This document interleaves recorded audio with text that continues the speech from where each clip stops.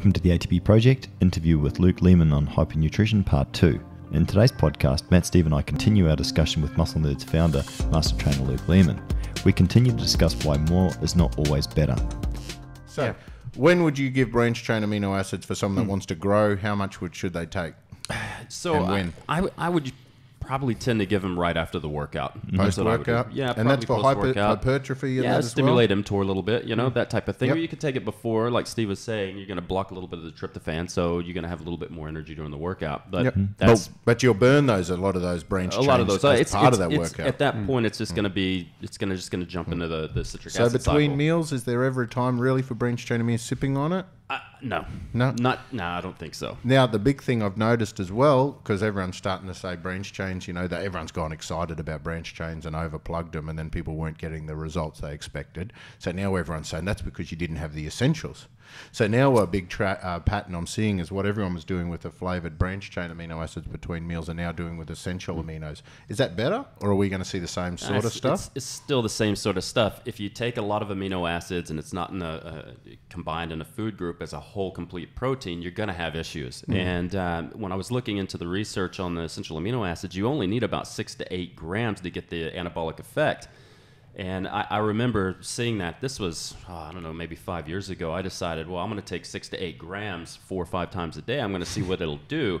And after about a, a, seven to ten days, I was I walked into the gym and I'm, I said, man, I feel heavy and I can't breathe. I don't know what's going on. I wouldn't go on the scales. I'd put on 11 or 12 pounds. It's like holy shit, but it was all water and bloat, and I was super inflamed. So I got off of it and lost it. But it, it, it, it I had pushed it past this point where for, for a couple of weeks I couldn't look at a carb without blowing up and passing out almost. yeah, right. You know, hmm. so it, you know, And that's insulin resistance again, because a lot of those essential amino acids have, you know, uh, they can be converted through sugars, and they'll, they'll help your body to. They, again, they get burned as a source of fuel. Yeah. You know, so It's It's called just- gluconeogenesis if you wanted to look up the term, anybody.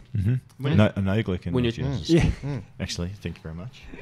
um, but yeah, in terms of obviously more, and this is the whole thing about more is not better, and we have touched on it in quite a few different podcasts. Any other specific times where you've seen people taking more because they've gone a little bit's good, uh, more's a lot better. Let's get into it. Where they've done themselves some damage or some harm. Well, I'll, I'll tell you another story. Something again, dumb shit I've done to myself with nutrition.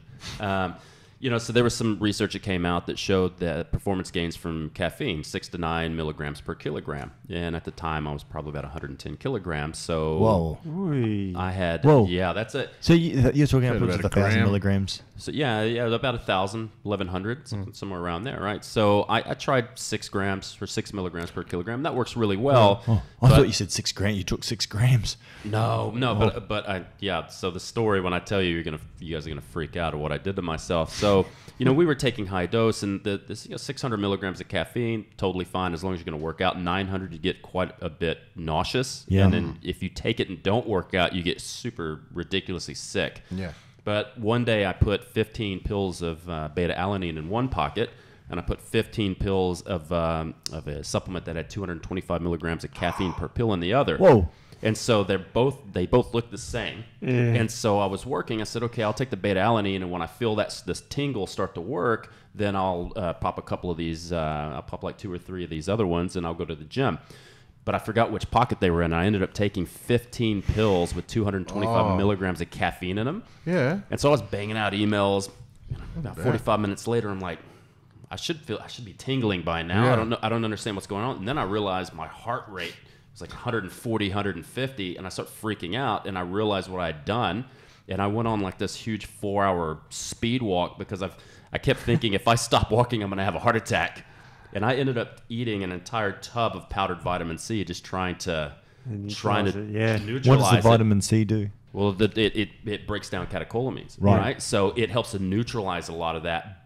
And, and normally, you know, you eat five, six, seven grams of vitamin C, you're going to get um, yeah, you're going to get disaster pants. So- and I ate the entire bottle. Wow. Oh man, It did nothing. no Wow. disaster pants. No disaster pants. The, Yeah. um, the, the green apple It- splatters in your underwear. W- would you be looking at taking taurine as well too, just to protect the heart? or yeah, but I didn't have any. Right. Yeah. You know, Yeah. but then, you know, it wasn't soon after that I started having panic attacks, and I didn't realize what it was, and, Yeah. and it was I had depleted all my taurine. So I And it's almost taking- like a post-traumatic stress disorder. It you was. actually set your cortisol levels mm. so high that you become resistant to normal levels. All of a it's not switching stuff you- off. You've yeah. got to remember, caffeine blocks adenosine. Mm. That's how it mm. works. So it really, and adenosine regulates you. So you, you don't want to block too much of that. And you know, I- Adenosine from adenosine dientriphosphate. Is yeah, that- yeah, the same thing. But adenosine is a sedative um, neurotransmitter as well. I don't want to get too nerdy with by this. itself. Right. Yeah. And So adenosine, you, you can prescribe it in hospitals for people having acute MIs and that sort of stuff. So adenosine is a is a is a molecule that it calms you down, helps you sleep, for example. And if you block that with caffeine, you wake up more. But taking, I'm just doing math, three grams of it, ca- you, you know, the average Half-life. Okay, a- a- let's a talk half life so of three Your average coffee So- is what, 80 mil- 75 milligrams 75, in a cup milligrams. of coffee in a weak cup of green tea Yeah. or normal Yeah. one serve of coffee. Your Starbucks venti, the big buckets from Starbucks, 500 are or so. 500 Yeah. Yeah, milligrams wow, of that's huge. caffeine. Yeah. So we're looking at you probably having what, um, three of those ventis ingested immediately. Well, it's actually Six. six. Six. Wow. Yeah, see, I suck at maths, but I. That's Yeah, not the only man. thing you suck at. Yeah. Uh, just Well, ask John. Yeah, I don't suck at John. not That's that, John. disgusting. Anyway, This, but but you know the caffeine with its half life of three hours too. It's going to be hanging around a lot, and even if half of it's gone, you've still got a gram and a half. The the, the highest I've ever seen done in the medical studies is 500 milligrams, and that's for treatment with severe Alzheimer's. that that's nothing. They should just go down to Starbucks and get a vento.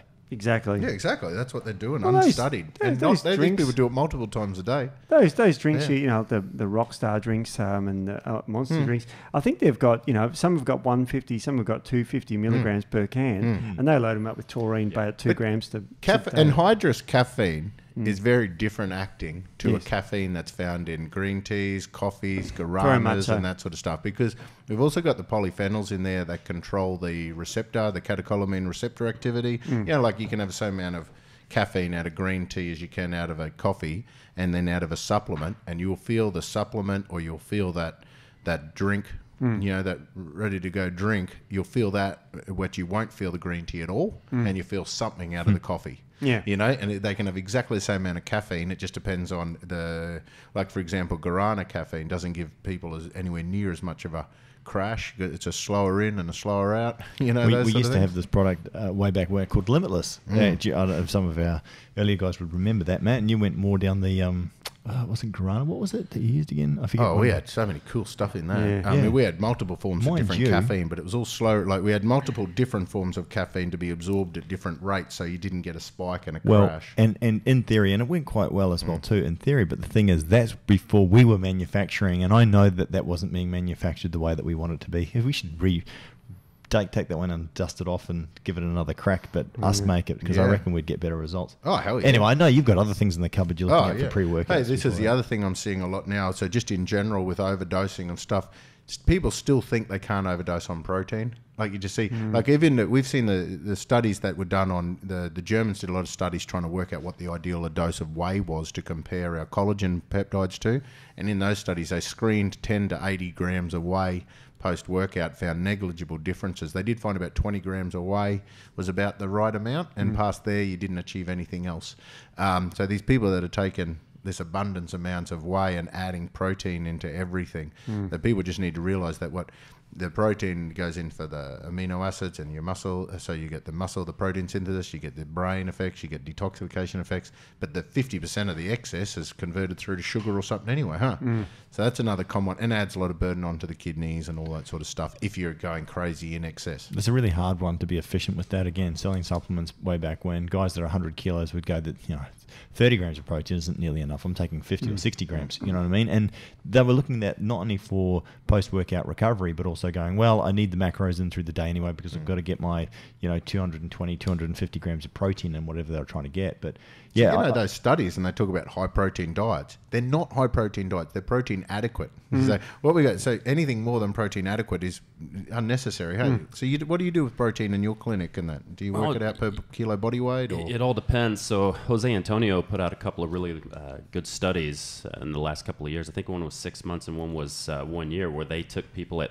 uh, anywhere from 2.2 to 3.3 and even up to six grams per kilogram. Wow. And found in most people there's no detrimental effect, and there more protein eh, it seemed to be better. Mm-hmm. Yeah. But a lot of these studies were also hypocaloric diets, Yeah, right? yeah. So when you're under eating calories, you probably need to pump your protein up as long as you can get rid of the nitrogen. And that's Yeah. part of the problem. People talk about having a positive nitrogen balance. But again, it's the body craves balance, right? So you can have too high of a nitrogen balance, and then you have to get rid of that through the urea cycle. And then if you realize, wow, my sweat smells like bleach, I don't understand what's Yeah, going on. yeah, well, your body's yeah. trying to get rid of the ammonia because the urea cycle is not working correctly because you've got a nutrient deficiency or some or something else is going on, right? Um, so we will typically, I I like the 2.2 to 3.3 uh, grams per kilogram. The more uh, carbs I give somebody, the less protein I'm going to give them. They don't really need it. But if somebody's in a hypocaloric diet and we're, we're trying to save muscle tissue, I don't mind using some of that protein to create sugar because mm. when you eat protein, you've got a 30% reduction through the thermic effect of food. Then, if you're in a lower carbohydrate, lower fat, lower calorie diet, some of that protein will then be turned into sugar through gluconeogenesis, which costs more energy. So mm. you can put someone in an energy deficit without actually like severely dieting them mm. by by just through biochemical transformations. Yeah, right? yep. So it can be a good strategy. In terms then of obviously removing the ammonia and urea, what are you suggesting for that if people are consuming a higher protein than, you know, say say normal?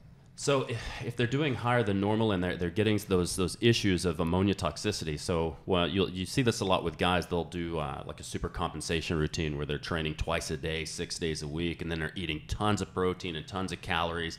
And then they go home, and you know, guys are when they come back from the gym, they take all their clothes off and string them through the house. And then your your, your hmm. wife yells at you, and you go back and you grab your shirt, and you smell your shirt, and it smells like bleach, smells Yeah. like ammonia. Yep. If that's happening, then you probably need to cut the training down a little bit. You're probably taking it too far and you're catabolic. You need to cut the protein down a little bit. And then what you guys were talking about, the arginine, that might be a good time to take a little bit of arginine or ornithine or citrulline to try to neutralize some of it because those are used in the urea cycle. Mm. But you don't need 20 grams of arginine. You just No. need two, Yeah. two or three grams will do it. And Wouldn't, wouldn't citrulline and be glycine- citrulline would be the per- preferred. So like six grams of citrulline or 9 mm-hmm. grams of citrulline malate. That's all you need. Right. And glycine's really effect- one of the other common side effects of ammonia toxicity from this is anger, irrational anger, irritability, and glycine is one of the best ways of controlling the hmm. neurotransmitters in the brain, having a mild inhibitory effect to offset the ammonia hmm. and avoiding excessive glutamic acids because it's via that that it'll create that kind of temporary insanity. So you should Yeah, take, take very 80, so. 80 grams of glycine post workout. Yeah, that'll slow you down. Maybe, yeah, we can stay a bit lower. Like a couple of grams is enough. It's a, it's a good good way to lose weight when you're amazing. Like you have the Hershey squirts and you're puking at the same time. Yeah, Hershey yeah, squirts. I've never heard that one. Hershey It's a squirts. Hershey squirt. You Funny, know, when eh? you've got brown chocolate spurting out your butt. Right, there you go. Yeah, Yeah, yeah. He was just thinking of Hershey Kisses. Yeah. right. Okay. Right. Hey, um, so basically, bro, the other one that I see a lot of that I just want to just quickly cover off on is ketones because um, God. exogenous. No, I know I'm going to stir you up with it because I'm not going to specifically just talk about the way people are using it at the moment for fat loss, but in my experience, I've had really good experience using ketones as a nootropic, ketones for mental clarity, ketones for anti-epileptic. Man, I used to nail the ketones and go low carb for my exams. So whenever I come hmm. into study time and exam time, I'd go fully low carb, get into ketosis, and when I wasn't in ketosis, I'd be supplementing on the ketones to stay smart and sharp which I'm all cool with, except the fact at the moment I'm seeing ketones popping up into everything now, being told that it's going to keep you in fat burning mode. Just just before Luke comments, because uh, just to give some history as well too, Matt, I know that we've slammed ketones, raspberry ketones, for example, on the raspberry nuts ketones make your nuts explode. That was a weird study I read. They said your raspberry ketones make your nuts explode, and then people said this is a good idea to supplement with. I'm going, how is So- this? Yeah. and, and, and it's like anything. It's like a tool, right? It's, it's the same as, as non-nutritive sweeteners. There's a time and a place, um, you know, whatever it ha- may be. So the way I think ketones in the general marketplace at the moment, especially with some of the network marketing companies that are out there, the claims I think Oh, and what yeah. they're saying, they do everything from make you a rocket scientist and Oh. you know give you give you wings and to Oh, put it in and else, but- breastfeeding and put it into your baby's bottles and give it to your Hmm. children's and and but then then they're all keep talking about fat loss. So though. let's let's again as as some of the guys whenever I mention this, this is going to be a huzzah moment. Let's not throw the baby out with the bathwater. Let's talk about uh, you know where ketones and we've talked a lot about where they've been misrepresented and used poorly, Matt, and you know all the rest of it. But there are some places that they're good and that they do work. But let's okay, Luke, you go first, mate, and then we'll we'll circle back around. All right. Because so- I mean you, you you the look in your face is the same as the way that I feel a lot of time when I hear ketones. Look, Right? it, here's the thing that people think that all this ketone stuff is brand new. But, you know, I was doing this 20, 22 years ago when I was 18. I was doing like Atkins and South Beach diet and all that. And the, the first recorded kind of low carb, high fat diet was in Letters Letters of Corpulence by William Banting in 1863. 1863, Wow. Right? Yeah. So this is not a new thing, and everybody's jumping on the bandwagon. So, uh, can I talk about the exogenous ketone ketones Yeah. first, and I'll talk about ketones as nutritional ket like and, Yeah, yeah. and how they're being yeah, and how they're being u- u- used or misused. Yeah. So okay, so you're epileptic. Great. Use the ketones because then you're able to eat a normal diet and eat carbohydrates and take the ketones and not have seizures. That's awesome. If you're taking it for the brain benefits, the brain loves carbs. Okay? So if you can get carbs into the brain properly, that is the preferred fuel source, you know? Um, can they increase performance and especially uh, cognitive performance? Yes, but the problem is they're really expensive, and the majority of them are through MLM fucking marketing things. I cannot stand these MLM people. Right? If you wanna, if you wanna ostracize yourself, uh, lose all your friends, lose all your family members, join a fucking MLM. Do do you know the, the reason for that? Is that a lot of people who get into MLMs are not actually business people; they're No, lay they're people. not. I mean, th- and there are some there are some good companies out there with MLM, and there are some good practitioners. But I understand what you're saying. The rank and file have no clue how to do business, and so then they become an Yeah. annoying. But they're Can- not can I- policed. They can make claims. Yeah. Yes, so that's no what Matt hates. No professional could ever make, and no professional ever would, because we know better. so Actually- when you have got a housewife saying it's Yeah. perfectly fine to use for preg- pregnancy, Yeah. breastfeeding, and in fact, it can only do good things, and anyone that says negative is just bitchy. I'll tell you a sad story, uh, and I won't mention any names or anything, but there is Hmm. a nurse who's selling loads of MLM stuff Through at the hospitals. hospital. I don't doubt it. Uh, now that's scary because you're coming across as a professional Yeah. health worker, Yep. and Well, you're selling th- th- MLM. There's I someone hate else as well too that someone I know very close has has uh, recently had an appointment. She went there and they recommended this MLM company's product. When Matt had a look at it, he's like, "This is terrible stuff." The only reason they're recommending it is because there's money to be made in it. Now, I'm not bagging all MLMs. There are some good ones out there with some cool stuff, but like anything. They're far and few between. Like good companies, they're far and few between. Like most things. But yeah, I understand your Well, it's like- frustration. I, I'm, I'm working with a, a, a AFL guy in uh, Victoria, and uh, I, I'm looking at some of the stuff he's on, and I'm, I looked at this. I go, "What is this product?" And I looked it up, and it was an MLM company. I go, and the, the ingredients were just rubbish. Hmm. Like the, it wasn't even close to the amount you need to actually make things work. And I go, "Where'd you get this?" He goes, uh, "My doctor got, got it for me," and it was on basically on every single product that that company made. Yep. And I go, there's not enough of the actual ingredients in any of this to hmm. do anything and it looks like this is probably quite expensive. He goes yeah it's super expensive. And hmm. i go yeah it's you're not it's, it's making your wallet lighter but you're not getting any lighter or faster. So let's take you off this and put you on some stuff that actually works. Yeah. but the other thing that the, the thing I have with the ketones as well is they're they're marketing them as a fat loss uh, supplement. Yeah. They're not a fat loss supplement. They they're a byproduct of fat loss metabolism, right? So if you're ingesting all these ketones, it's like the branch chains. You're taking tons of branch chains. That has a caloric value. The ketones have a caloric value, and if you're taking a lot of them, there's a negative feedback loop that makes the body go, okay, my brain has plenty of ketones. I don't need to break all of this fat down. Mm-hmm. So you have people taking it all day, and they're they're taking it for the wrong reason, and it's it's being marketed as something wrong, and I've got a problem with that. Yeah. Mm-hmm. And as well, you can make ketones for free really mm. easily. Mm. Yeah, Like I by can burning fat. like burning Go fat. for a run in the morning with Yeah. me, and I'll even leave my shirt on. There you But go. you know what people want? And your pants too, They- Steve. they- oh, Peop- maybe. People want change, right? They want change, but they don't want to do anything. They don't. They, they want to keep their current lifestyle, but then they want to get lean and strong and all this. It's a microwave society. that's it. They Mm. just. I just want a product or a pill that will change everything without actually having to change anything. Just Yep. take this pill. And it- what if you can pee on a stick and it confirms change? Oh well, Yeah. you know, you take a ketone and now you're in ketosis. You're not in ketosis. Yeah. You're- it's like if I if I if I ate You are in ketosis, but you're not ketogenic. You're not ketogen. You're Yeah. not, you don't have ketogenesis. Yeah, which is exactly. kind of the point of fat breakdown. Yeah. And it's like if I if I took my blood sugar right now, and this morning my fasting blood sugar was 4.5. If That's I good. drank like 400 grams of glucose and then took it, it would be sitting at like 21. Am I Mm. now diabetic? Yeah, yeah, exactly. Am I diabetic for the next two hours because I took a bolus dose of Yeah. glucose? That's that's Yeah. that's ridiculous to say, but that's what the ke- the, the ketone people are saying, yeah. right? And the reason why those keto sticks exist is because to monitor people to make sure they don't get too many ketones and mm. get kidney disease. Mm. Yeah, And pur- ketoacidosis will kill you. Yeah. And so the funny thing is, is the whole the original reason why those sort of tools exist is so people can measure their ketones and go, oh wow, I'm getting too much ketones. I got to drink more water. I got to increase my calories. I got to get back. I got to burn some. Yeah.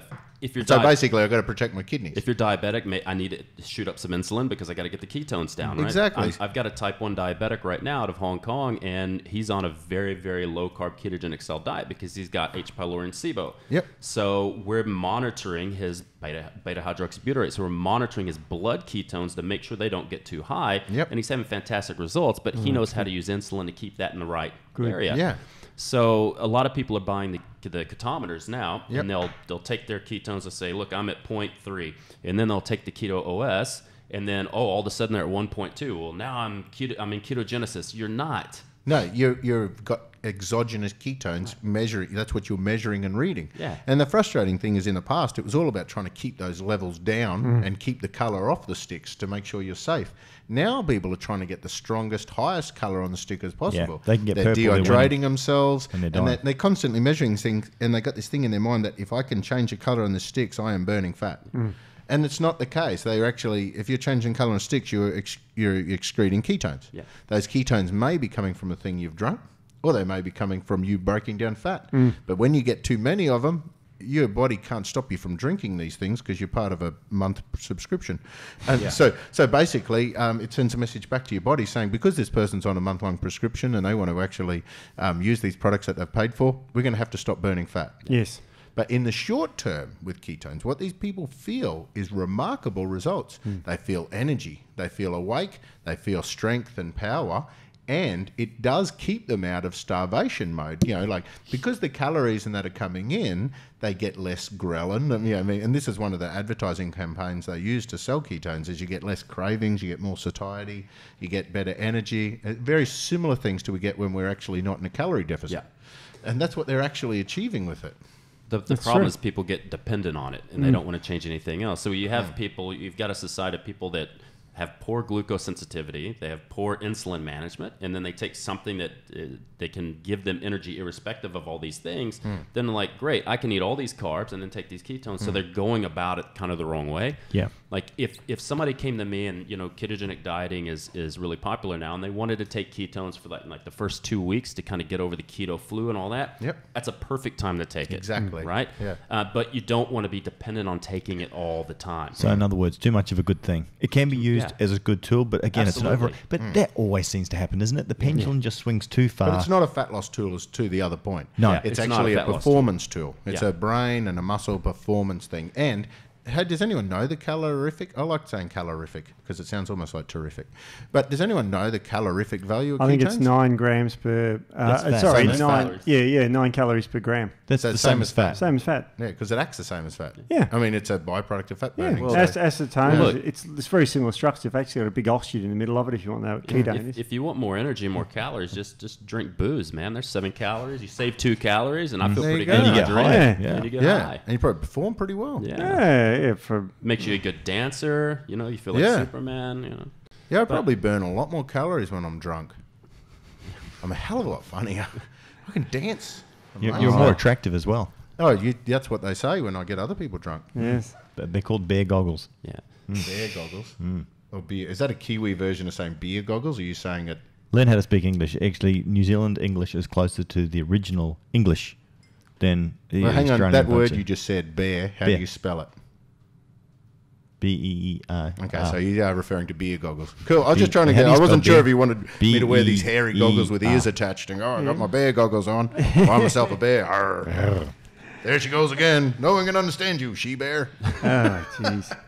Anyway, Look, Funny. uh, also on the, the on the ketone thing, and you know that's so common for people to want to jump into ketogenic dieting right now. And I, I really like what uh, my friend Dr. Mike T. Nelson, who has like 15 PhDs, and he's one of the smartest guys and that I know, and he's he's huge into the research. And he teaches uh, courses on like metabolic flexibility. And he goes, "Look, let's look at the ketogenic diet." He goes, "This is a backup survival uh, pathway for when you can't find food. If you're trying to perform, why the fuck would you not want carbs? Why would you want to be in ketosis when that's like survival, and when carbs mean performance? So, what what we typically teach people is if you if you're interested in physique, yeah, go a little bit low carb. Do you have to go into ketosis? Absolutely not. But you might have to go lower carb to increase your metabolic flexibility so that you can modulate fat burning and keep mm-hmm. your respiratory mm-hmm. quotient where you want it. Mm.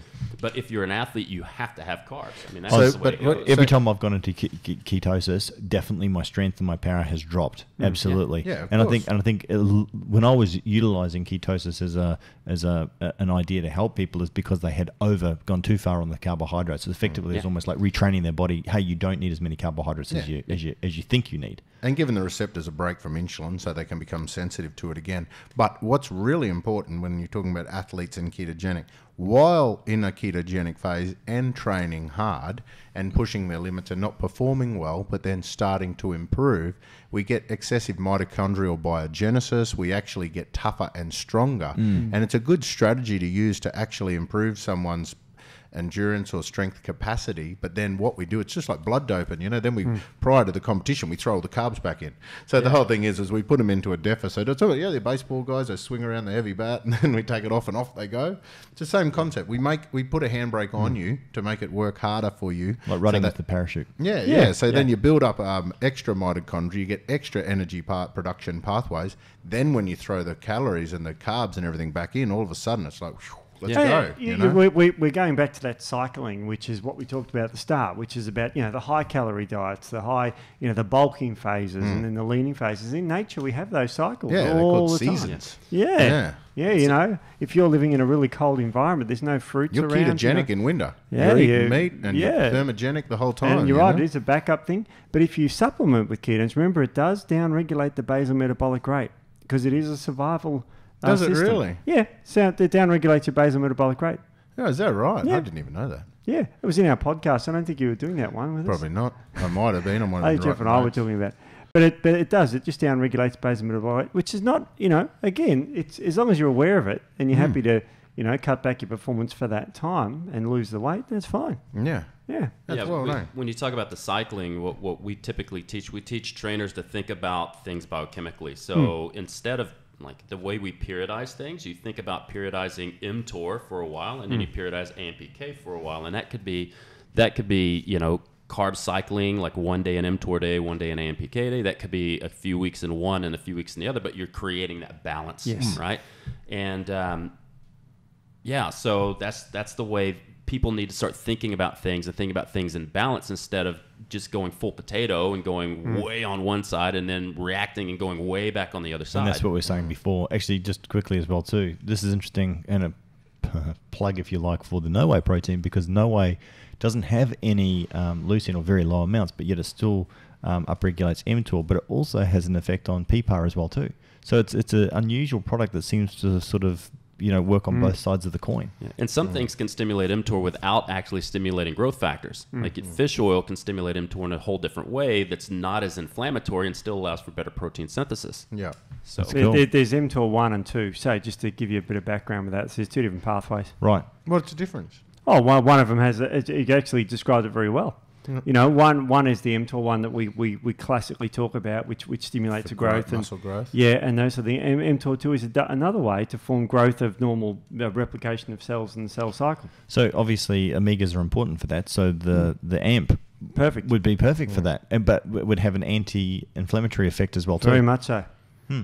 and a fat burning effect. You know, it, it, it's a win-win-win situation. And so when you look at it though, just to, for um, AMP V product, it's an essential fatty acid product. The the ability for it to stimulate AMPK is also very high, and its ability to stimulate mTOR. And Hmm. the governing factor, whether it's driving AMPK or mTOR, is your calories. Calories, So if you're in a calorie surplus and using AMP V, then you'll be getting more mTOR activity. If you're in a calorie deficit using AMP V, like before fasted cardio, you're going to get more of the AMPK fat Hmm. burning effects. So it'll depend on your calorie surplus or your deficit of whether AMP K, uh, sorry, AMP V is anabolic or catabolic. Hmm. That's good. I think a, a lot of people need to understand too that vitamins and minerals can do different things. They're situational dependent, right? So y- you hear people all the time say, "Oh, magnesium, it's a sleep supplement." Okay, so if it was a sleep supplement, if you take an electrolyte with magnesium and then you go squat, have you ever fallen asleep during a squat? Yeah, no, exactly. It does help sleep. Yep. It helps relaxation, right? It's a calcium channel blocker. But if you take magnesium and you need ATP and you're stimulating AMPK, then you're going to make more ATP and then you're going to make ATP more bioavailable. Yeah, exactly. Yeah, yeah. And so when, when you have a look at magnesium itself, involved in 600 different enzymes, they're not all driving one particular function. Not, not all putting you to sleep, obviously. Are they? No, hell no. Um, yeah, that's a good point. That with the Well, magnesium in particular. You, because- actually, you actually, I think you describe magnesium really well when you say it creates an off switch. It yeah, doesn't. Turn it makes it sure off. it's capable. You're capable of switching That's off. right. Yeah. So, um, and you'll find that when it, this is, it goes back to our original point. If you are magnesium deficient and that sort of stuff, there is a time and a place for mega dosing magnesium. Hmm. You'll know when you've corrected your deficiency and you're going over because you'll get the squirts. Yeah. Um, but a lot of these things don't have those sort of side effects. You know, like Hmm. a lot of the B vitamins and that sort of stuff. You overdose them, they go into your body. You might get some coloured urine, thinking, "Oh, that's fine. It just goes straight through urine." But on the way, it creates all sorts of problems. You know. Can I can I address another beef about vitamins when they say, "Oh, it just makes your urine expensive and hmm. passes straight through you"? Of course, it passes through you because if, if you're built up with vitamins, it'd become toxic. Yeah, yeah. So this weird thing that you shouldn't. Take, I mean, I shouldn't drink water because that comes out the other end as water. I yeah, mean, it does stuff clear on the way it makes through. your urine, mate. Yeah, yeah. you know, and it's like it, it's a ridiculous scenario. So Yeah. you know, we, we, we do find excesses of vitamins, and we do find it's a you know, really that good point that, and that's one of the things in the papers they say is the reason why we have got vitamin toxicities occurring right now because we've got a lot of fortified Mm. foods, we've got a lot of synthetic vitamins going on, and people aren't sweating as much. So Mm. we are urinating and that sort of stuff, but we're not perspiring as much. So then we can't urinate the excess that we would perspire, and that's a major problem with vitamin Mm. It- it toxicity. be- became to and light- exercise, obviously, pa- panting out's another way that Yeah, you can that's remove it as well too. So you know, again, if you're hmm. sedentary, you're at more risk of obviously overdosing with vitamins. Very much so. You know, the, the first overdose of vitamin was 1913 with, Mertz, of course, in the, the South Pole. Of course. And and so you know when he ate his dog we livers. ate his dogs. Yeah. Oh, Uh, what was he- it, vitamin he A? was- yeah, vitamin A. Yep. Yeah, he was an explorer. And he So- sent himself blind, didn't he? Yeah, Classic sign because the the first thing that happened to him went blind from excessive vitamin Yeah. A. But what do we say? Vitamin A, doctrine of for your signatures, eye. looks like an eye, helps you see in the night. does. Luckily, because it you helps everything's black. with vision purple uh, production in your eye for night vision. Yeah. If you want to know that, the Yeah. nerdy detail. But you know, Yeah. it, it's, night it's blindness. Yeah, a lot of people suffer from that. So you Yeah. get some more vitamin A. And Vitamin if, A. you've got, if, you, if you're diagnosed with night blindness, But don't eat your dog's liver, you'll die. no, no, don't eat dog liver. That's uh, that's bad.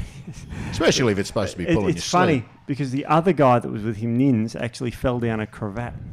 So What's uh, so funny about that? No, no, it's funny because an ass. because was Who's this no, guy? no, listen know, to me. right? let- Hear me Oh, out. look, you're falling What- over, mate. Let me well, kick it was, you while it you're was down. 100, that's uh, if we can make jokes, it's hundred years ago. We've got that hundred year limit. Oh, it was, too 1930. Too soon. Too Too soon. soon. Yeah, yeah, yeah. So, so hundred limit, hundred years, I think. But, but anyway, was he blind and didn't see the damn gap, or was it one of those Oh, ones maybe. coming? Do you know what I mean? Or maybe That- he was that's- pushed, Steve. That's what- oh, this well, is a new twist he on wasn't it. He's probably looking for his dog. No, He's probably walking Great around. stop. Have you He seen my was- dog? He was That Dog, barbecue where's smells dog? good. Yeah. he was the guy carrying carrying most of the food.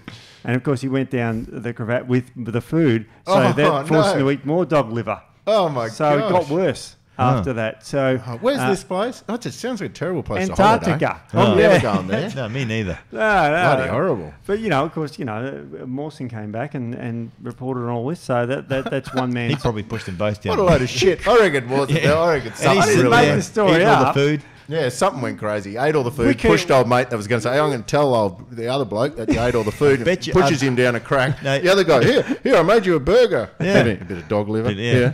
Watch this little fool go by, and then he goes, "Oh, this idiot ate the dog. He fell down a hole." So I'm fine. there's a there's a moral to the story to this, guys. Don't travel with what's his Don't name? let anybody push. Morton. I Don't think- travel with Morton. No. Or, or easier, don't let anybody push you in the ice hole. Do we have to edit that one or not? I don't oh, think so. jeez. That's fine. I don't know. It's a, it's a good one, though. I don't know. Oh, I got away with my Eskimo joke, didn't I, once before? Oh, you told that one. So you've, you've got you had a really good point there about like the sweating. People tend to think that because B vitamins are fat or, or water soluble that you're just going to pee them out or sweat them out. But how many women do we know don't sweat? Yeah. And how many people don't really pee a whole lot or drink a lot of water? Yeah. You know, you get stressed out. Now aldosterone and cortisol goes up. You start retaining sodium. You're going to retain all those vitamins, and Yep. you're not you're not urinating them out. Yep, yep. La- then ladies glow for the um, yeah. What? Ladies glow, men perspire, horses sweat. Yeah. Anyway, Is that but no, that's sexist because a lot of women do perspire. Okay. Jesus. Uh, you get- see, see, he's trying to be politically correct. No, now. I am what do I say? See, this is what I'm happens. just saying. This is how it goes wrong when you try to be politically Yeah, this is correct. the wrong Yeah. room I'm, I'm the, politically correct. Hey, I'm the one who has to has to be politically correct around Hey. here. Like it's fine for Steve to cross dress. It's fine for Yeah. John to be gay. There is no Yeah. problem with that. no, no problem at all. His wife's the only one listening to the podcast. That's why.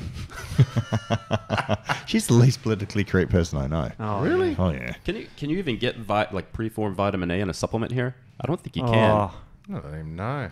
No. We I wouldn't think get you can only through buy TGA. beta carotene. Yeah. Yeah. TGA won't let you do it. We'd have Yeah. to do it as a food, So but we we can get foods that from the U- naturally from have the things. US. Yeah. yeah. Yeah. The We U.S. to is like foods. the U.S. is like the mm. Wild West. You can just get mm. whatever. They don't even. You know what a the- shit. Typically, See- dog liver we use here. Crushed just dose it properly. There's beta carotene, right? That's what we have. Yeah, Yeah, we got it- crappy beta carotene. The reason why, so in Australia, it's a messed up thing. TGA will not let you make nutritive claims on plants containing nutrients. Hmm. You're only allowed to use synthetics, Yeah. which is crazy messed up. And the reason why is because when you register a product with TGA, you're allowed to register your recipe once. It's not allowed to change. Variation in plants occur, so sometimes we might need to add more, sometimes we need to add less. Every time you do that, you've got to register a whole new product. The only thing that are consistent are things that are synthetically made, such as beta carotenes, D alpha tocopherol. So then back to the loop to the start of our podcast, when they do these meta analyses on people taking vitamins, they're not. They're taking beta carotene, they're taking vitamin E mega doses, and when they talk about antioxidants, that's what they're talking about vitamin A and E, and maybe some C. Um, the rest of the time, everyone's doing everything dodgy and synthetic. So, Yeah. and mm, in Australia, like for example, we talked about folic acid toxicity. If you make a multivitamin in Australia, you're not allowed to use 5-MTHFs. You're not allowed to use the mm. other folinates. You can only use folic acid. Again, the reason why it's consistent, the levels are consistent, but also when it comes to studying these things, instead of extracting carotenoids from plants to study, or instead of extracting folate, methylfolates, or standardizing a plant to be methylfolate and then seeing what happens, it's easier to use synthetics. And hmm. then they do all their studies on the thin- synthetics. So when it comes time to make a decision of what is well studied, you know, what should we allow people to use? The folic acid might have a pile of papers a foot high, and the um, and the methylfolate might only be a little bit because there's no one's investing research into it. So then they go, oh, folic acid's backed by science; it's proven, it's the real stuff. And that, that's just how we end up this way. Yeah. And but the worst thing is too for us reading labels. So you have a look at a label. You get if I get a natural plant vitamin A source, um, for a carrot, let's just say, for example, I wanted a carrot extract, and I say standardized to vitamin A. I actually standardize it to beta carotene. So people get the hang of reading a label saying carrot extract standardized to beta carotene this much. Then the next product, carrot extract standardized to this much beta carotene. People learn to look for beta carotene and buy the mm. product with the highest amount of beta carotene. They do that for a while, then they go, let's just ditch the carrot bit. We'll put beta carotene. 10 milligrams compared to these guys did 1 milligram. We, we're heaps better. Mm. And that's just how we've ended up with these things where all these synthetics are looked at as natural. When I tell people that folic acid doesn't occur inside a plant in nature, they go, oh, load of rubbish. Like, that's the most natural Yeah. thing. They don't believe you, hey, you know. So, but yeah. Well, It's not. You know, one of the things we've seen um, in, in the past couple of years is uh, a lot of people with a BCO1 gene issue. So they, they have a dampened ability to break beta carotene down into vitamin A. So um, what we found was we had a we had a seminar in Perth, and we were telling them you should eat your veggies. You have to eat fruits and veggies. If you're not willing to eat that, you don't deserve to eat any meat. So everybody in the class, 30 people, they're pumping veggies, pumping veggies. Seven or eight months later, I come back and half the class, all their skin was turned orange and yellow. Yeah, yeah, yeah. And if you have the BCO1 SNP, that's what's going to happen. And uh, we had some girls in there that had some thyroid issues. They had messed themselves up doing contest prep. And I said, okay, we'll do like a Dr. Dr. Vasquez like vitamin load for Hmm. like a week. And some of these girls were losing four, five, six pounds in like seven to 10 days by taking preformed vitamin A because they weren't getting any out of Yeah. their diet. Yeah, man. What Very- what percentage that is in the population? Uh, so I can't remember the SNP of that, but um, basically, what, what you're talking about is that beta carotene converts or the carotenoids convert to vitamin A. Some people that have that problem with that gene conversion. It's zinc dependent. It's a few other things dependent. Are dependent. they the so- guys that go mental with roaccutane? Oh, ro- yeah, yeah. Roaccutane toxicity is very common because they use a synthetic form of vitamin A, which is a cis9 trans 11 version, which Yeah. is completely not found in It's, nature. it's pretty high dose too, isn't Well, it? yeah, they, they they used to use like a lot more than what they do now, but still, even now, the side effects are horrendous. The f- In fact, photosensitivity is pretty. yeah, there's a there's a a, a, a, a pharma, oh, well, there's a, a medical conference on um, a dermatology that I'm speaking at in a couple of weeks, and um, they're talking about the dangers of roaccutane there. So that'll be it's That was my first ever referral as a naturopath from a doctor. Was a doctor sent his son to me who had suicidal depression after his dad put him on Roaccutane, roaccutane, yeah. and he said, "Look, I just, you know, that's all of a sudden it got become serious." Yeah. Yeah. It's pretty full on. Guys, man. we are running short for time. So, Luke, I'm going to throw over to you. Any last words of wisdom or any final requests? Design a meme. Come on. What's that? um, look both ways before you cross the street. Wow. Ah. okay, Yeah, I wasn't yeah, expecting that one. Yeah. Uh, never trust a fart. wow. Oh, good one. That Yeah. is a really good one. Never pass up Never- a boner. But that's Steve's right with you there. Yeah, yeah, I'm Yeah. 49 now. you Yeah. know. What was that one? I missed It- it. it- it- the uh, Ne- exquisite erection selection, I think he said. Yeah, he That's said good. ne- Mm. ne- never pass up on a boner. Oh yeah. You know, I don't know what you guys do in jail. That's up to you guys. But Yeah, anyway, the um, uh, Matt, do you have anything? No, I mean, that's pretty hard Well, to well, I don't have a boner right now. Is that what you mean? No, it's pretty hard to top. But No, no. we, we can fix that. No, well, this Oh, is uh, really whoa, weird. whoa. Yeah, this has really gone next level. So what? How many times a day do you have to? What? This is weird. so you try. So this never pass up on a bone. So every time we get Woody, we got to do something. Well, we don't know, Well, but you should. really? We're, Wow. we're, Yeah. we're Wow. married. I'd never mate. get any bloody work done. What's the I'd never get- difference? I don't know. Well, no. Well, well, I'll, I'll be in the bathroom, not my room. What the? The breeze in the right direction. I'm ready to go. oh my gosh, there's so much editing right here. Um, Steve any words of wisdom? Look, just uh, be careful that the vitamins. It's not that big, Steve. Put your hands down. Oh, sorry. It's about vitamins. that's that's more realistic. vitamins are not created equally. We have synthetic ones we have natural ones. The, the research that, that come up with studies that show that supplement vitamins is bad, like this one, is is because they're the synthetic ones, Mm. and they're testing things that aren't found in food unless they're fortified back in food, and it's mass And medication. they're still synthetic. They're Yeah. putting synthetics back into nature. It's mass medication. I, I, I'm not a fan of synthetic vitamins at all. No, and again, our, our catch cry always is eat fresh, eat local, eat organic Mm. where you possibly can. Um, you know, and, and this is one of the best things you can do. Food Yeah. is medicine. Get back into that. Mm. And again, this is so many times I've heard it, and I appreciate for those people that have heard this a million times. That's why we created multi-food Mm. from nature, Mm. all the bioflavonoids. And the results that we get are so astounding from people every day writing in testimonials of how they've improved. Mm. Some serious health, some just with regards to energy. Uh, anyway, Well, I, um, you know, I, I every every class somebody asks about multi-food, and, and I, I tell them the same thing. I said, "Man, I looked at the bottle of this, and I said, Matt, you're full of shit." And he said, "Well, try it," and I did. And I went about two months on it, and then when I ran out, like I didn't feel anything while I was on it. When I ran out, I went, "Oh man, I don't, f- I don't feel normal." And every person that's come to our courses says the same thing. They didn't mm. no- notice anything till they ran out, and then they were like, "Wow, I I feel off." yep. Mm. And they're, they're going back to normal because it's a gradual incline, a, a gradual improvement, if you like, in terms of all, so many processes in the body. And then when you take it away again, it's it's like it's like the stock market. It's like they say mm. that the bull climbs up the stairs and the bear jumps out the window. It's the same thing. It takes time going up, and then boom, all of a sudden, when when it drops, it drops mm. quick. Well, and a lot of people are going to look at that and they're going to look at the label and think that there's not a whole lot of stuff in there. But mm. what they're not seeing is what you don't put on the label. It's the yeah. 8,000 chemicals that we don't have a name for and we don't know what the fuck they do. We just know they make the, the processes work better. What's really funny is that we actually had a conference call. We are waiting for you. That's what the meeting we had today with our growers, and this uh, demand for this stuff is so high that we're having to ration it. Like the demand for our stuff, because we're, we're obviously expanding globally now. We can't supply it to all of our customers they're organically in the grown. United States. So for us to increase our to buy more, we actually grow more farms, build more farms, and then they grow more food. And then uh, each thing we've got to grow it, we've got to test it, we've got to measure it, we've got to predict a yield, but we actually got to pre-allocate dirt and patches of garden to us um, to actually be able to keep up the demand, and it's it's out of control. and here's the classic thing: if you did the if you did it the wrong way, the old way, which is synthetic, you would never have a problem with course you supply. don't. No. You just go, give me that chemical; it's as stable as anything. You Yeah. store. Well, this is my years. concern, though, No 'cause- problem. Fire up the bacteria, feed Yeah. them some crap. Yeah. Yeah, what everyone's doing with multi-food, uh, you know, to compare to or to copy it or something. Because like you're saying, you look at the back of multi-food, you don't see crazy levels. People have still got it in their head that more is better. That I can't overdose on natural stuff. So take as much of it as possible. I want more value for my money based on numbers on a label. But that is not the way it works. We need mm. just the right amount coming through.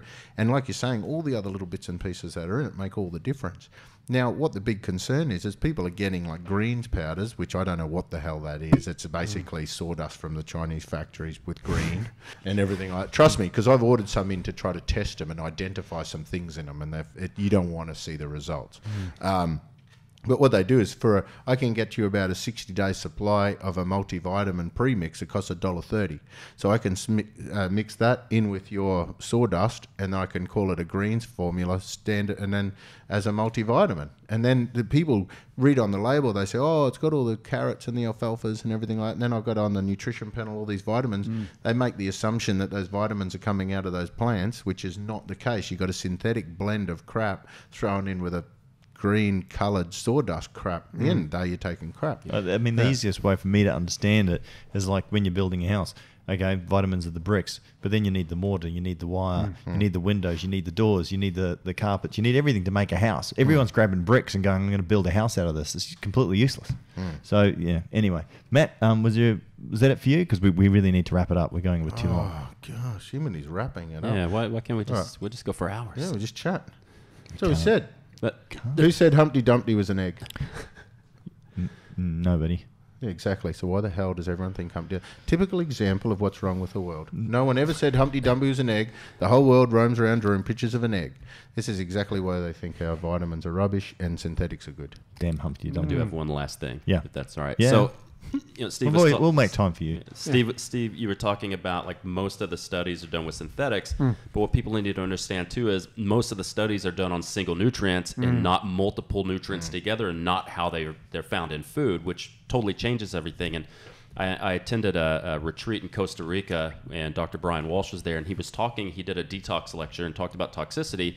And one of the interesting things was when you look at all the research, they're only testing one thing we don't really yet know what happens when you combine a lot of different toxic chemicals and also what happens when it's when you're taking it for a very long time because what they do is they give s- small dosages or, or they'll give big dosages in a short period of time and there's no synergistic effect. When you start adding these things together they have a synergistic effect they compound over time so mm, Yep. we don't know. It's the same thing with the vitamins. You, you can find all this research that says that a vitamin doesn't work or it does this or does that but you don't really know unless you see the vitamin with all the other stuff it's supposed to be with, like Yep. all the phytochemicals. Yep. It's a classic sign. uh, Even B2, for example, it's been shown you overdose on B2, it actually creates B6, B12, folate deficiencies. So you sit there, they go do a dose and then of this study and say this thing's terrible for you. Well, it's like nice, and it increased in, in one study mortality, Hmm. and it was like oh, and there was an asterisk on the study, and it found that they were giving it with a drug, the niacin, to reduce the flushing nicotinic What's acid. the drug? The drug was banned in 2013 because of toxicity. Yeah, but that's not important. Yeah, it's like, it's like there was little asterisks in the study, and it, and it was published in the Journal Uh, of the American you- College of Cardiology. You just have to love it. Any It's like- opportunity. But you know, Oh. you know what most people do, especially in the bodybuilding world, they read an abstract because they're too lazy to read through the whole thing. Oh and yeah, most of them It's don't on know. page ten. Yeah, and most it's right in the back there. most people, Oh, most Yeah, I people read don't that know how to shit. read a study, I love it. anyways. I love you Yeah. mentioned that. Uh, uh, Like Yeah. Matt was having a conversation. This is when he used to. I don't know how you got into a debate with this idiot, um, a- and uh, Matt's going through and effectively providing, you know, peer-reviewed articles to support his case. I think some of them were Cochrane, if I remember mm. correctly, as well too. And the guy writes back to him and goes, "Yeah, yeah, well, you're just an abstract abstract scientist." And I thought to myself, "My gosh, if there's anybody who So, so let me put it in straight. Someone said, Oh. "Have you got any references to support your argument?" And I said, "Yeah, I'm actually playing Lego with my kids at the moment. I can quickly send you a couple through that I can find on my phone, and I'll show you how I can find these things quite easily on my phone, and you could do this too. Um, and let me give you some examples of how to quickly find free full text articles showing these things. Comes back, you're an abstract scientist, bro. You f and pleb, and all that sort of stuff is cool. And I was just like, oh. and then." That's when I actually deleted Facebook because I was actually playing Lego with my boys, much more important than dealing with someone that's calling me f- F and play. That anyway. Armchair um, critics and then, and then I said, I said, hang on, what did you? And then I, I read the comments later about some other people went on and said, hey man, like give him a break. He said he's playing with his boys. He's actually supplied you with the references that you've requested, and now you're attacking him over the quality of the the, the fact that yeah, he's provided those references. And, and then he said, What did you expect from him? And the bloke wrote, I expected him to actually pretty much write an essay of what I, I he expected me to review all of those things, write it down as a in a Facebook comment, still by the way, and then say my opinion and then cite those references. And I said, I mean, I'm fucking playing Lego. But that's the problem when you start, and, and, and in our industry as well too. It, it's it's funny. And that You know, was about good- sweeteners, by the way. Yeah, right. it Oh, was, and you were proven right uh, Don't time and time there. and time again. But Actually, this is the thing: month. If your mother, mother ever used to say to you, "Bad company corrupts good character." Hmm. Eagles don't hang around with turkeys. I mean, the other one that's really popular is that what is it? Lions don't concern themselves with the opinion of sheep. and this you kid got to find me- good people to hang Yeah. out with, and, Yeah. and people who are open to having honest discussions, admitting you know when they're wrong, and that that's a hard thing to do. That takes a lot of humility, which there is a great lack of in our industry. You know, or going back and go, you know what, that makes sense. Even when you approach somebody, they're level to say, look, I appreciate where you're coming from, but you know that's that's not what I found. Here's what I found. You know, that there's a bit of humility when you know you're right as well too. They're just, and that's what stifles debate. That's what stifles progress. Is that people are so so care about their their profile. They so care about winning a Facebook argument. I love that how to win friends and influence people. If you win an argument, you've lost because the person that you've won against hates you for it. You've made them mm. look bad in front of their mm. peers. You know, you have to Yeah. be mm. gentle, and uh, there's just not enough of that anymore. There's no there's no gentlemen and ladies anymore. Everyone's just out to slit everybody's throat. On Facebook, it is. It's a cesspool. well, anyway, really Jeff, we're running out of time. We need to wrap this We've already gone way over, thanks to you guys. Yes. Sorry. Okay, we we done, guys. Last think we're done. That's it. That's it. Going, going. Oh, let me tell you this. Thing. Ah, shut up, Matt. Thanks, uh, Luke, for coming. It's good to have you back on the show, mate. Um, what are you doing next? We're going to last time for your plug. Have you got anywhere where people can see you? Give a, see. your website a plug, your Facebook page So, a plug. Muscle nerd was uh, plurals or Uh, plural. Yeah. Yeah. MuscleNerds.net. Yep. Yep. We're also on Facebook at Muscle Nerds. Um, I will be speaking at the Irish Strength Institute in late July at their symposium. I'll be speaking. Where's that? That it's in Ireland. it's Ireland. In Ireland. That's Or. It's in Orland. I didn't hear you say Yeah. that. Now, yeah, so it's the Irish Strength Institute. That will be, uh, I think it's July 25th. They're going to have a huge symposium with a concert and all this cool shit. In like Dublin or in, Uh, it's Malahide, which is right outside of Dublin. It's Right. a fantastic area, Ireland. Um, and then we've got the Swiss uh, Symposium. That's going to be right outside of Toronto in late October. We have um, we're doing a course in early October in Atlanta. We're doing one in Vancouver sometime around there. But if they go to the website, we post all that stuff, and if they get on our page, we post all of that stuff. and, too. and what's some of the cool things they're going to learn there? What, what's what's the hook? Why do people want to go on and learn? So there? Basically, we, we're just you know, this the problem of the industry is everyone wants to teach like advanced this or the other, and no one knows all the basic fundamental mm-hmm. foundational stuff, right? They want to teach that one weird trick or that one hack without actually knowing the physiology. So what we teach in our in our foundations course, we teach just basic basic self physiology and basic bioenergetics. So how do you turn how do you turn food into energy? Where can you find those handbrakes? How do you release those handbrakes? Um, and then things like digestion assimilation, how you actually get things from the plate into the cell. And then we talk about elimination. I talk about poop a lot. And then we talk about the stress response and how stress, chronic stress, creates immune system dysregulation, uh, intestinal permeability, um, long-term inflammation and, and, insulin resistance, things like that. And uh, yeah, we teach people how to fix basically the metabolism. So the mm. foundation course is more nutritional biochemistry. Um, and then we have a program design course that's online. And then you also come to a, a seminar as well. And that, that one we teach exercise metabolism. Mm. Right. So that way, what we're going to do eventually is create one, like a whole year's worth of courses where you do everything. Mm-hmm. Right. And that it's going to, we don't, we don't teach protocols we teach or methods we just take it because there's plenty of people teaching that we don't need to teach that what we teach is why the methods work, what are the actions in the body, so that you can pick the right protocols and methods for your mm. clients instead of just throwing shit at the wall and seeing what sticks. Mm. Nine times out of ten, most experts that you find out there have got good memories and they've learned something by rote. It's very, and this is what I say about mm. Matt as well too, and Steve too, is that it's very rare to actually talk to people who truly understand it. It's mm. not just a I can repeat the study that I've seen, but they actually have an understanding of what's going on behind the body.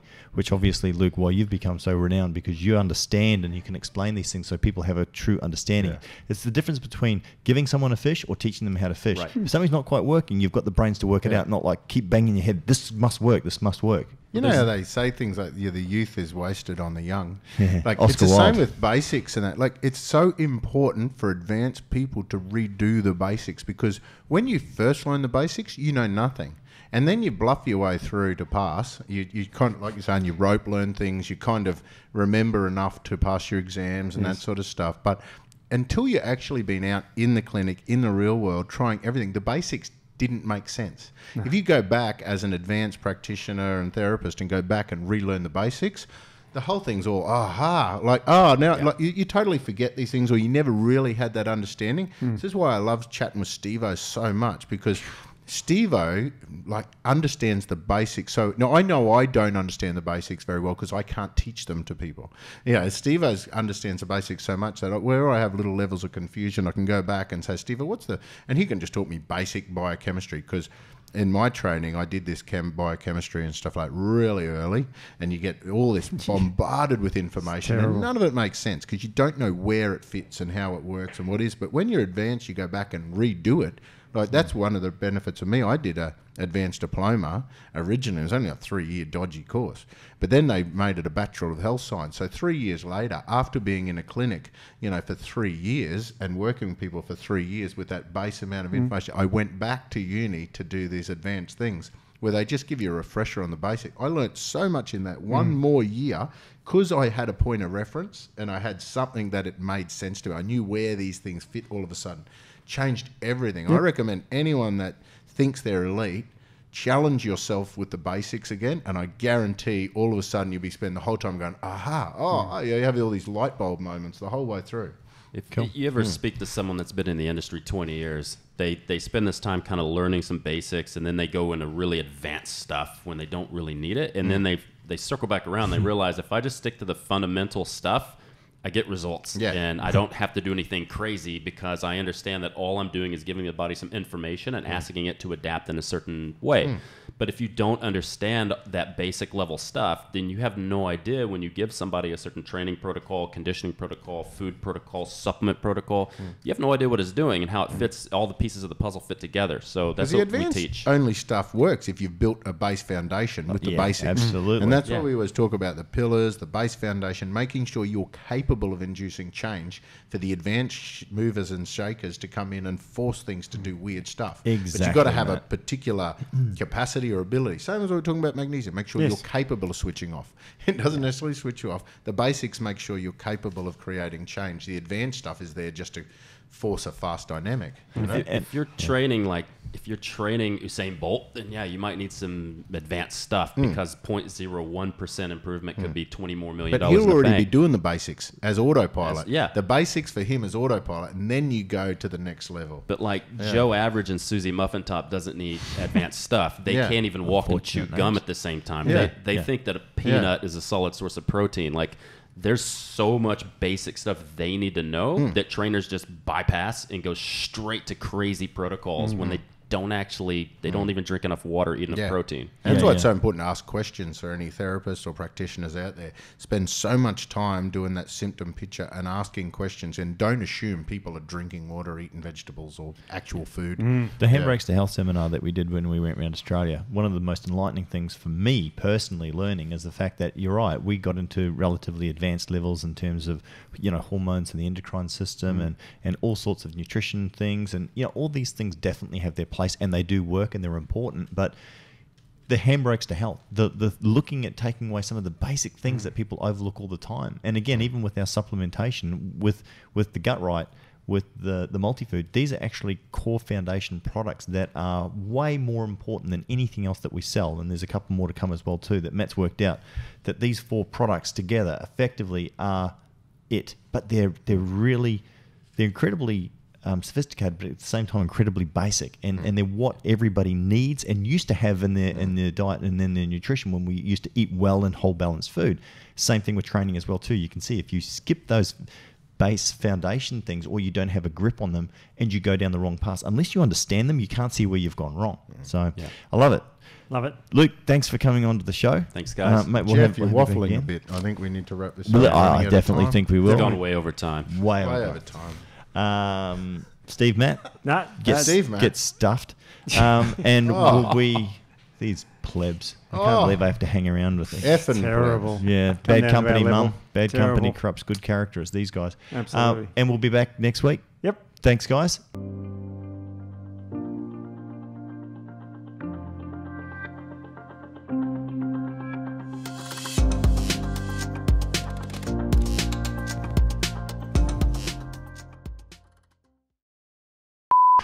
Jeff's not here. You got to be the adult. All right, all right, I'll be the adult.